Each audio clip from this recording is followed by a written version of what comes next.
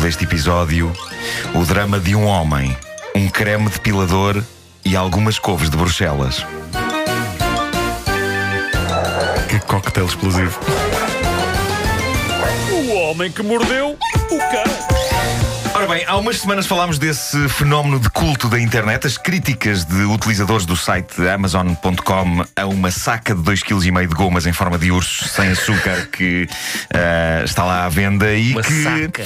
como vários compradores perceberam por experiência própria, narrada com uh, detalhe assustador, provoca verdadeiras épicas limpezas do colon sob a forma de uh, algo de explosivo. Mas Há mais boas críticas na Amazon a produtos que há uns anos não imaginaríamos que esta famosa loja online fosse vender. Pá, eu ainda sou do tempo em que eles vendiam só livros, CDs e filmes. Mas a nossa ouvinte Cátia Silva desafia-me a traduzir e a ler a arrebatadora crítica de um senhor a falar de um creme depilador para o homem. Isto é surreal pensar que uma pessoa pode meter no seu carrinho de compras da Amazon ao mesmo tempo uh, um creme depilador para o homem e, sei lá, um livro de filosofia. Hoje em dia esse tipo de combinação é válida e vem tudo na mesma caixinha castanha. Cá está o meu Kant e o meu Vite. Bom, uh, o, o, texto deste senhor que assina A Chapéu uh, ainda é melhor do que qualquer um dos textos sobre as gomas em forma de urso. Eu vou tentar traduzi-lo de forma o mais decente e digna possível, tendo em conta uh, a situação. Uh, Pedro, põe, põe a música, se faz favor.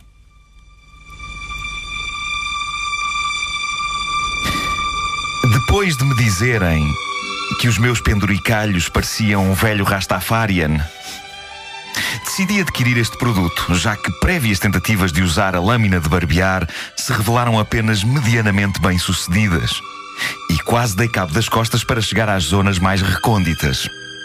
Como sou romântico, pensei que, no aniversário de minha esposa, iria fazer-lhe uma surpresa.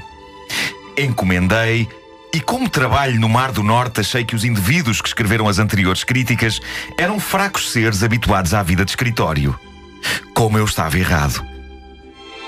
Aguardei que a cara metade se deitasse e, depois de lhe dar vagas dicas sobre uma surpresa especial, dirigi-me à casa de banho. De início, tudo correu bem.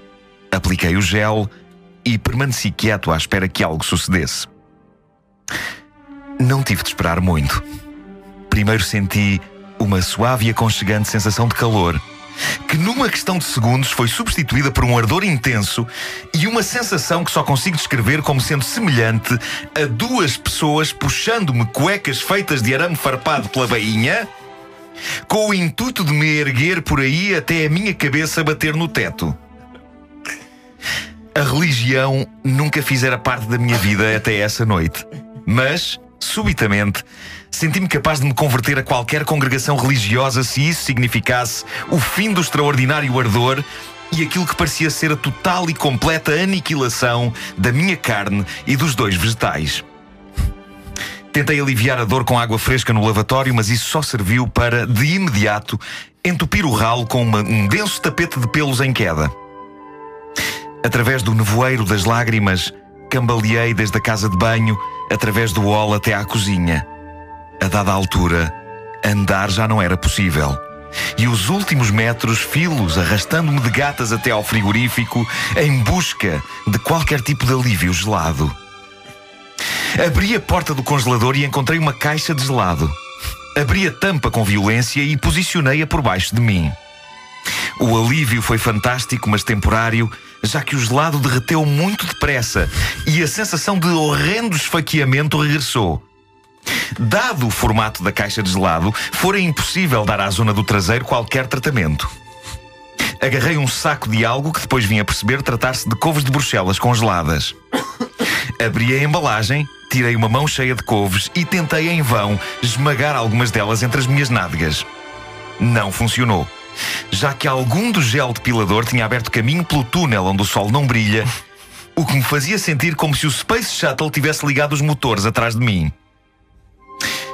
Este foi provavelmente o único momento da minha vida em que desejei que existisse na minha cozinha um boneco de neve gay.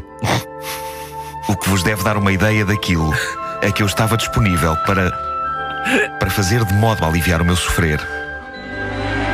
A única solução que encontrei foi, o mais suavemente possível, introduzir uma couve onde nenhum vegetal entrou antes. E infelizmente, alertada pelos grunhidos que vinham da cozinha, a minha cara metade escolheu esse momento para investigar o que se passava.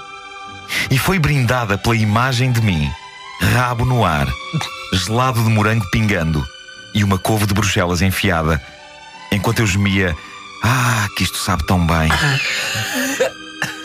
Foi um choque para ela, que gritou e fugiu. Como não a ouvi entrar, o choque levou a que a couve fosse disparada a uma velocidade considerável na direção dela. Como na Tailândia. Eu compreendo que ter uma couve de Bruxelas disparada contra a perna às 11 da noite não era a surpresa especial que ela esperava. Este gel não remove apenas os pelos, remove os pelos, a dignidade e a autoestima. Meu Deus, que maravilha. Que peça Isto é estupenda.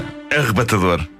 Incrível. Arrebatador. Epá, e é por isso que epá, eu nunca irei retirar um único pelo do meu corpo. Eu é demorei isso. muito tempo até consegui-los e não vou agora. Mas se, atenção, se retirar, vou ter as couves de Bruxelas já Ah, fresquinhas ao não. pé de Sim, sim, sim, sim, Ninguém me engana. Nunca se sabe. E, e sabes como é que se chama o gelado?